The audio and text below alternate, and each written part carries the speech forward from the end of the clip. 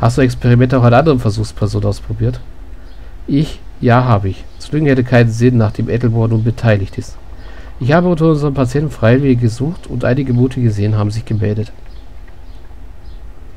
Ich stand einmal kurz vor einem Durchbruch. Sie wussten, dass ihr Opfer etwas bedeuten würde. Ich möchte immer noch Zugang zur Nordstation.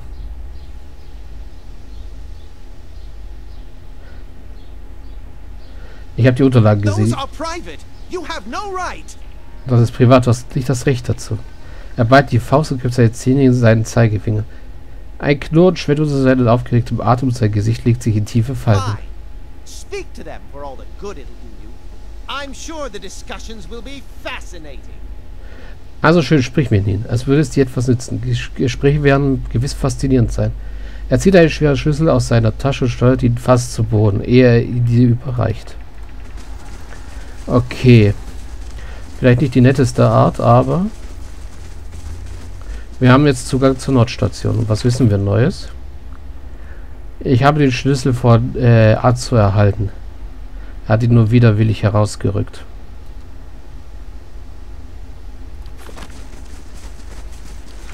Äh. Ja, ich muss halt den Agenten des bleiernen Schlüssels finden und hoffe, dass wir die Fleischkonstrukte nicht fressen wollen.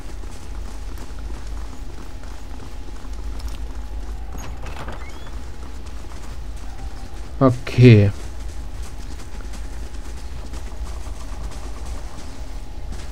Das sind nicht alle Zellen besetzt.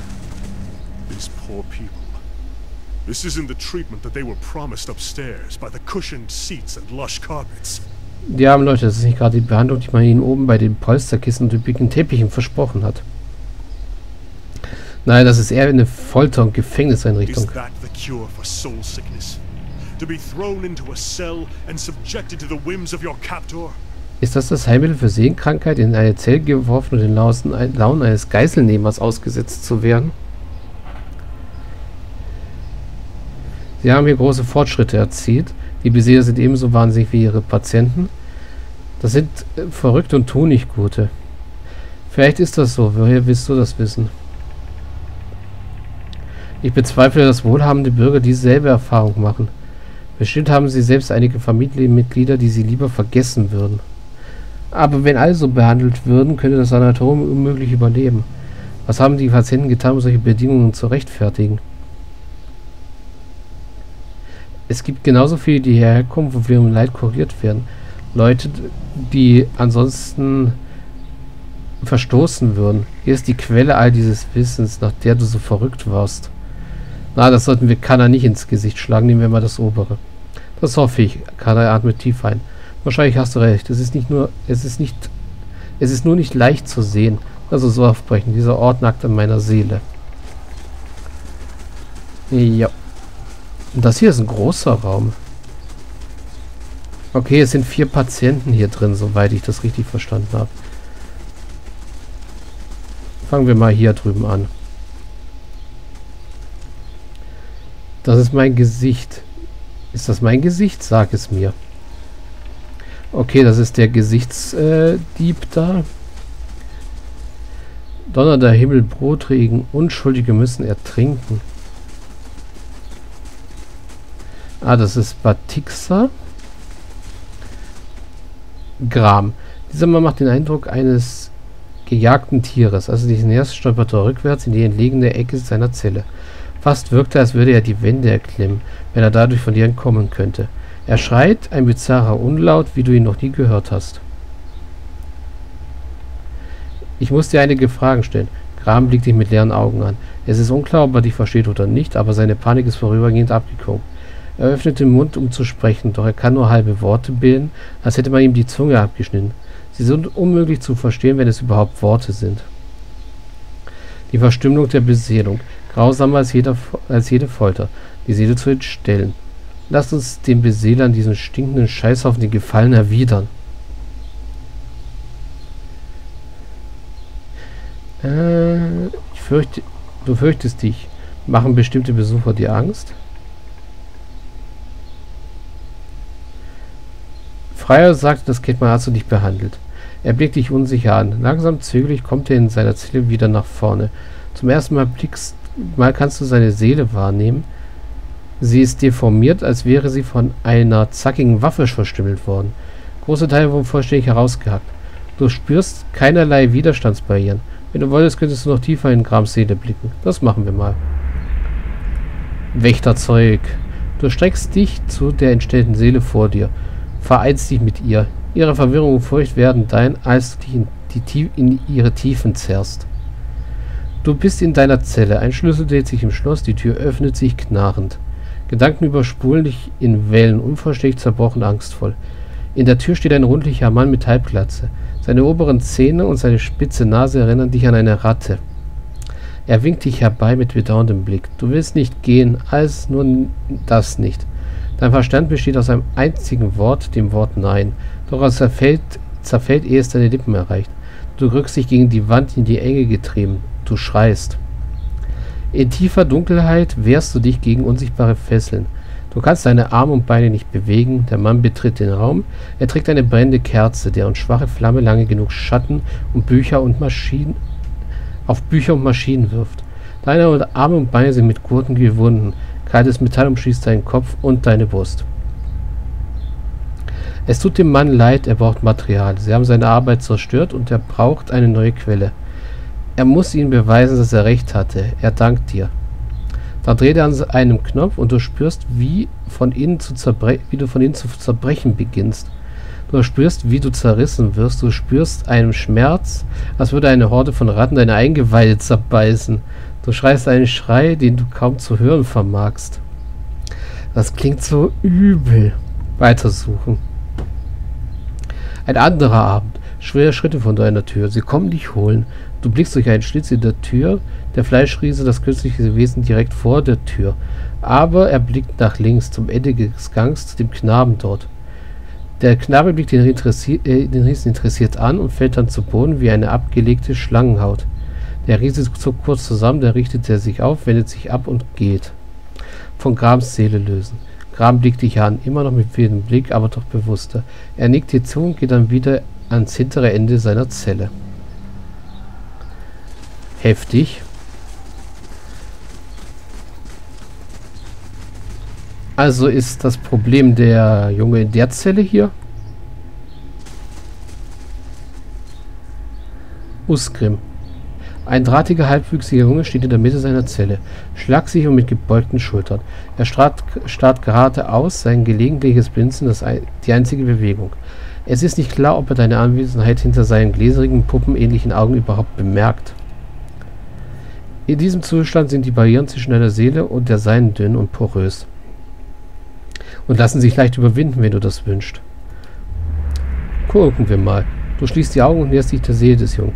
Plötzlich übermannt dir ein Krankheitsgefühl, das dir ist gleichzeitig kalt und warm, du schwitzt und zitterst und trinkst nach Atem. Wie auf der Reise mit der Karawane. Die Seele, die du dir näherst, ist die falsche. Eine parasitäre Pflanze, die in ihren Wirt langsam erdrosselt. Sie ist räuberisch und gnadenlos und eure Wege haben sich schon einmal gekreuzt. So spät versuchst du dich zurückzuziehen. Du spürst bereits, wie du in einen endlosen Abgrund aus Gedanken und Erinnerungen stürzt. Du stehst jetzt in einer Zelle, derselben Zelle im Sanatorium. Die Gänge sind vom Mondschein erleuchtet und leer. Du wartest. Am anderen Ende der Station öffnet sich die Tür. Die Silhouette des Fleischkohles erscheint unter dem Steinbogen. Er macht seine üblichen Runden, bleibt jedes Mal an denselben Stellen stehen. Das Bastardkind verzweifelter Schöpfer. Als das Konstrukt dich nähert, spannst du dich an und schießt dann nach vorne aus dem Körper des Jungen heraus, als wäre eine Membran.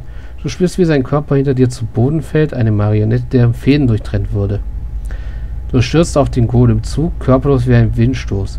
Schnell denkst du dir bei dir schnell und spürst, wie die Kraft aus deiner Seele blutet, während du auf die zusammengeschusterte Abscheulichkeit zuteilst. Du durchdringst die Hülle des Golems und du übernimmst die darin eingepflanzte Seele. Du umkreist sie, unterdrückst sie. In diesem neuen Gefäß bist du wieder stark. Okay, einer der Golems ist ein Feind. Du stapfst mit schweren Schritten Gänge entlang. Die anderen Konstrukte ignorieren dich. Nur die misstrauischen, unberechenbaren Augen der Wahnsinnigen verfolgen dich. Schließlich erreichst du ein Büro, das randvoll mit Büchern und vollgekritzelten Papieren und den perversen Werkzeugen der Beseeler ist. Du legst deine übergroßen Hände auf eine große Maschine. Ein Nest aus Kugeln und Rühren und Spulen in der Mitte des Raumes. Du verbiegst Drähte und veränderst Einstellungen. Deine Umgebung wird an dir vorbeigezogen oder vielleicht du an ihr und sie verschwimmt und verwischt. Als sie sich wieder setzt, stehst du an einem, an einem klaren Tag im Freien vor einer Menschenmenge, die über dir, die Reihen eines, über dir in den Reihen eines Apparates sitzt. Die Menge ist gekommen, um zuzusehen, doch ist dies kein Theaterstück. Ein Mann mit Halbglatze und rasselähnlichen Zügen befindet sich an einem, bindet sie, dich an eine Maschine. Die Maschine, die du eben manipuliert hast. Zum ersten Mal siehst du deine Arme kurz und speckig, unverkennbar die Arme eines kleinen Mädchens. Doch dieser Körper ist nicht wirklich deiner. Dein Verstand besitzt immer noch dieselbe Entschlossenheit, dieselbe Hartherzigkeit wie zuvor. Der Körper selbst ist kalt und leer. Im Gegensatz zu den anderen besitzt dieser gar keine Seele. Also ein Hohlge eine Hohlgeborene. Hm? Der Mann spricht zu der Menge, spricht und die Menge applaudiert mit einer Begeisterung, die eines heimkehrenden Helden würdig wäre. Werde Zeuge, sagt er und zieht einen Hebel. Die Maschine zittert und wirft Funken und ein Schweißtropfen häuft die Schläfe des Mannes hinab. Doch die Anspannung der Menge weicht rasch gebannter Ehrfurcht, als sich eine Kristallkugel mit einem strahlenden Nebel füllt und das gesamte Theater erleuchtet. Er öffnet ein Ventil und das Leuchten kriecht durch eine Röhre entlang einer Kupferleitung, die zu Elektroden unter deiner Achsel führen. Du spürst nichts, als es dich erreicht, genau wie es sein sollte, denn du hast ihn, seine Arbeit immer wieder in die Irre geführt, Notizen und Einstellungen verändert und Puppenspieler für Hohlgeburten gespielt. Du lässt es aber so aussehen, wie die Leute es erwarten würden, wenn ein Körper mit einer Seele belebt wird. Kurz darauf erlischt die Maschine und der Mann bindet dich los. Er blickt dich mit der Sorge eines Wissenschaftlers an. Er sieht wieder zu deinen Zusehern. Seht, sagt er, doch mit deutlich hörbarem Zögern in der Stimme. Langsam machst du einen wackeligen Schritt nach vorne, dann noch ein und dann noch ein. Du blickst zu dem Mann auf mit dem Blickkontakt zu, Blickkontakt, zu dem keine Hohlgeburt fähig ist. Und das Publikum schnappt nach Luft. Der Mann sieht erleichtert aus. Wie geht es dir? fragt er laut genug für das Publikum. Der Augenblick ist gekommen. Du schreist so laut und markerschütternd. Der Mann mit, geht mit aufgestreckten Händen auf dich zu.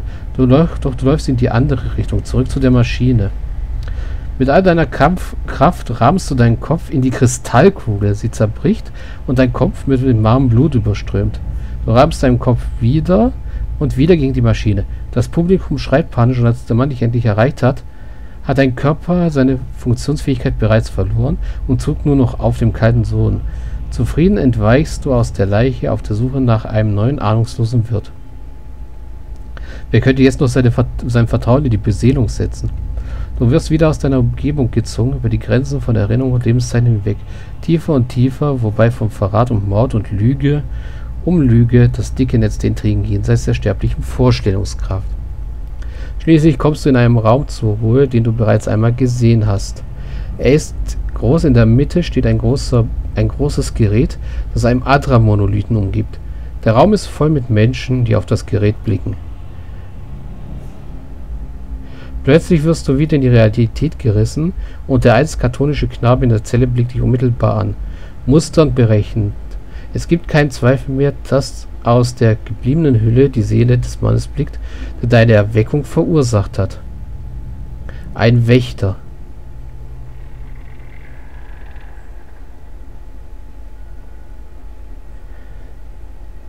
Ich glaube, wir haben eine gemeinsame Vergangenheit. Ich suche nur nach Antworten. Ach, tatsächlich?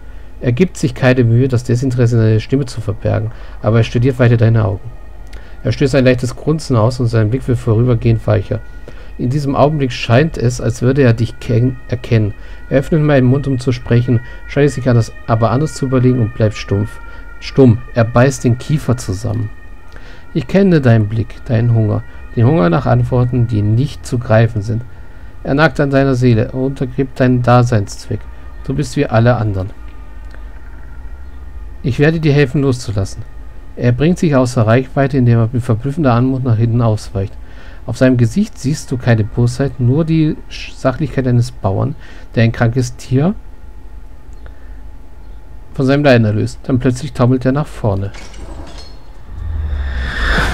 Oh oh.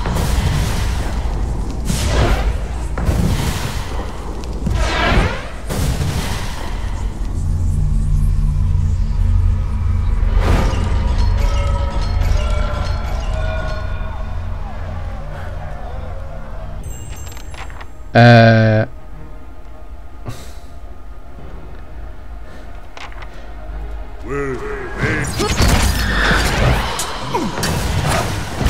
Muss doch was jetzt sein.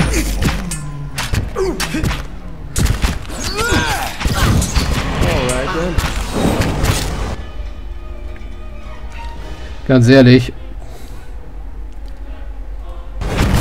Hätte ich das gewusst, dann... Ja, okay. Leute, ich bin jetzt schon wieder über meine Aufnahmezeit drüber. Deswegen würde ich sagen, da ich das jetzt nicht erwartet habe, dass dieser Scheiß passiert, werde ich einfach das Quicksave hier laden. Nachher bei der nächsten Aufnahmesession und dann werden wir noch mal werden wir uns richtig positionieren und noch mal mit ihm quatschen. Aber bis dahin mache ich erst einmal einen Cut. Also, bis gleich.